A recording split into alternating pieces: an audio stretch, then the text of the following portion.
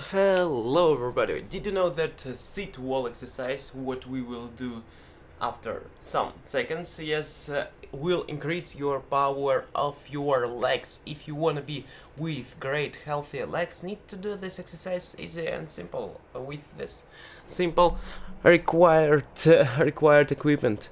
Let's do this. Two minutes.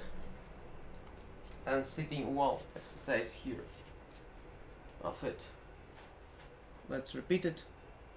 It is simple. And sit and talk. You can talk to improve your talking skills, uh, storytelling skills, else uh, something of the improv skills, improvisation skills, freestyle skills. It will increase all your body with this sitting sitting exercise.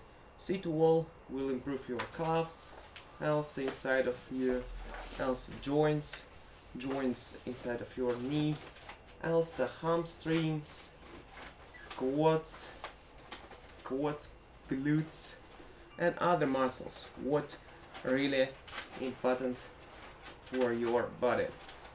Okay, also uh, this exercise you can use when you are sport player, what sports player who use who uses many activity for your legs because sometimes somebody have running running knee. Do you know what is?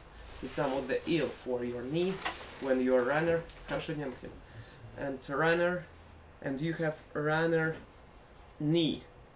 And it's maybe not good ill for you but you can protect yourself. You can prevent this ill and you will be really powerful. You will be really nice after doing this exercise.